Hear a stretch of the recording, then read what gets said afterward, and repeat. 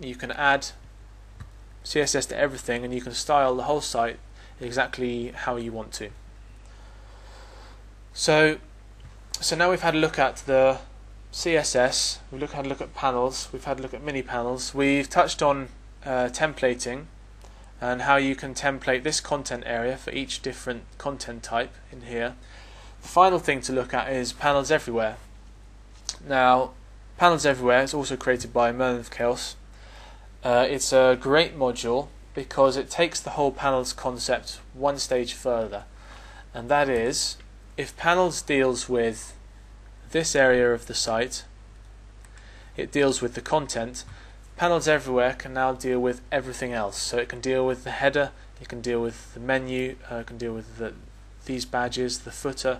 It can deal with the whole site template and where everything lives, and um, where where you can so you can put anything on on the whole site. So you install it in much the same way. You copy it to uh, the modules directory. You then install it. I'll just show you the modules page. CTools uh, is going to be installed anyway for panels. You're also going to want on the CTools, as a side note, you're going to want to have views content panes enabled so that you can use uh, the views in, in your panels. Then we scroll down to panels. We can see we've got panels uh, installed and going, mini panels is installed and going, and panels everywhere is installed and going. So that's how you install it. After you install it, um, you'll have an extra option if you go to site building and you go to panels and you go to settings uh, everywhere. Sorry, it's a bit hard to see on there because I've got the transparency down. On these settings, you can see we have some checkboxes which you can go through and tick. Uh, the first one is Enable Panels Everywhere Site Template. Uh, this means that you want to use panels everywhere to template your site, you're happy for it to override the existing template and use its own settings to do the job. Um, the second one is enable panels everywhere site template for the admin theme. I always have that checked because I want to use the same theme uh, whether I'm doing admin or whether I'm looking at the site. Uh, the third one is provide a sample variant for the site template. This is always a good a good starting point, so it's a good idea to check this. Um, you can start from building from a certain place um, instead of starting from scratch. So this is uh, all you need, really need to worry about. I also click overriding the page templates, but I don't click um, enable panels everywhere um, on a per theme basis because I don't have lots of themes running. And once that's all done, you then have a, an extra option on your panel's dashboard and that's this thing here, the default site template. So this is the panels everywhere temp templating area. Let's have a look and see how it how it lays out the site. So we can see this is the sample variant that we've started with. It's called sample variant, and it's the one that I've changed so that my site looks um, look, looks like it does. Very similar setup to the rest of panels. We have a summary.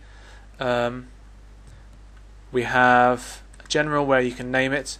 Uh, this box is interesting here. This says disable Drupal blocks and regions. This should be ticked because what Panels Everywhere does is it overrides the way that Drupal loads content onto the page. Um, usually, when Drupal loads blocks onto the page, it loads all of the blocks, both visible and invisible, and then it chooses which ones to display.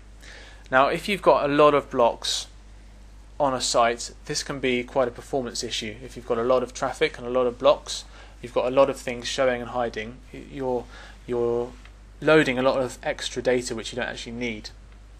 So what the um, Panels Everywhere system does is it overrides that and it chooses which um, which things to load and loads them rather than loading everything all at once. Next you have selection rules. Um, for the most part, I never bother adding selection rules. I actually do that in over in the panels section. If you wanted to, you could add selection rules here. For example, user role. This would allow you to create a completely different template for example for an anonymous role, or a completely different template for an editor role or authenticated role. Um, you have all the usual options that you would normally have for um, the panel set up So you can also have taxonomy term, taxonomy vocabulary, um, string URL path. You can even create lots of different templates here for every different URL path that you go to. In general, though, I tend to keep this uh, free, and I usually use the selection rules more in the panels area rather than the panels er uh, everywhere area. So let's have a look at the layout. The layout I've gone for is just a single column because I just want a single column website um, with panels creating all the other columns. So now I click on content. This is the area where you'll configure everything to, to be. So for example, first off we have the header. This is a mini panel. Um, if we have a look at the home page, or we can see on every page, we have the header here, the mini panel, it's two columns, the logo on one column and the text and the phone number on the other column. So that's just put at the top of the page. The next we have the primary links. That's the main menu. That goes below. So the easy thing, the easy thing about panels everywhere is that it's just drag and drop and add content when you like. So for example, you can add content, you can choose views, you can choose mini panels, node elements, taxonomy term elements, and you can also choose new custom content. You can also move things around. For example, if I was to move the header down to there, for example, and click update, I can then click save and if I go back to here, click refresh, I now see that my header has disappeared all the way down to there. Um, it's really really easy to move stuff around and to design and you get very very quick results. So let's move that back up to there. Click update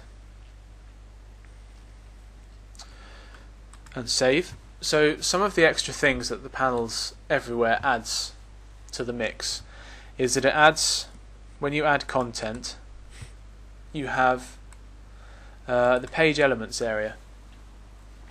Now these are all the sorts of things like breadcrumbs, uh, mission statement, page content, page header, messages, um, page title, uh, all those sorts of things. So you can add all of those in here and you can theme them separately so that they all behave uh, in a certain way.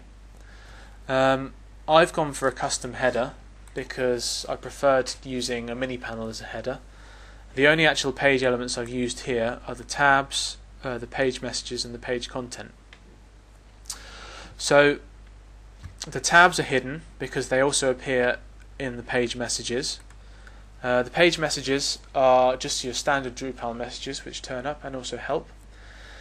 Um, page content. Now this is if I just refresh that, everything in this box we talked about earlier that gets formatted by panels. So that all goes into the page content area. Uh, I've got badges and badges 2. That's the two mini panels at the bottom, 1 and 2. And I've also got footer. Uh, the footer is another mini panel and this footer is, is like this. So you can use this sort of this uh, panels everywhere to quickly create um, the sort of expansive footers you see on many sites where they have lots of links. Um, they have a link to the sitemap, for example. They have contact information. Some have quote forms, um, copyright information. You see it more and more that the large sites are having a larger and larger footer. Um, this is a very easy method to have that large footer with lots of different columns and, and layouts, just like just how you like, and then to insert it into this um, into this template using panels everywhere. So the main thing with this is how can I get it to look how I want it to look. And again we come back to CSS. Um, if we have a look at this website we can see that it's um, a certain distance wide and it's centered in the middle of the page. If you go like this it stays centered in the middle of the page. I've actually made this website 960 pixels wide because that's the kind of standard size that that uh, many designers go for. Um, if we have a look at the CSS, for example, the page content, we do exactly the same as we did before. We click on the little cog, we go to CSS, and I've called this panel dash content. So on the CSS file, we can look down and we can find I've made this thing, panel dash content. And the the wording I've used is hashtag panel dash content dot panel dash pane. You then open the parentheses and then you add your styling content. So for example, the background color is white. This is white here. The I've also had the border left and the border right. This is 10 pixels and this is the thin strip of color here and this thin strip of color here. Um, next,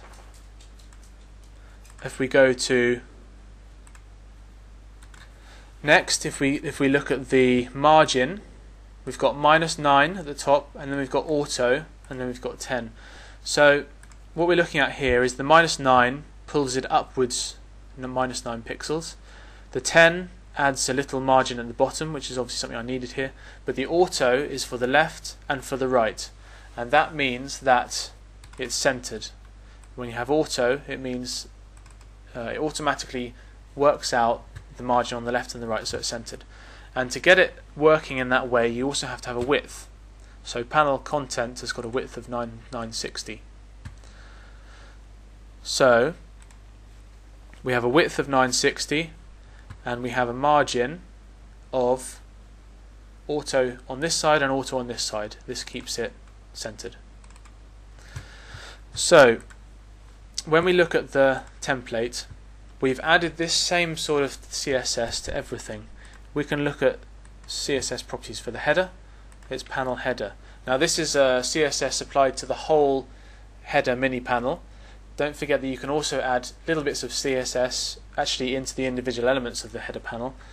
But for the whole header panel, we have added uh, this bit here, panel header.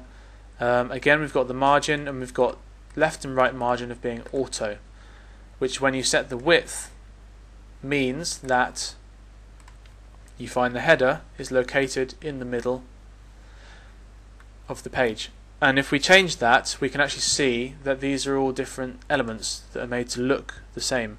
Panel header, if we include if we increase the width, we can see that it's this is a separate part of the site. This is the header. Next down we have the um, menu and obviously the main content. But because we make it all the same size and we add the padding and we add the right widths and we make it centered with the margins, it all looks like one page. So this is basically it. This is our page laid out. We can add whatever we like to there, but it's a good idea to add things like page content because otherwise you won't be able to see anything, um, page messages.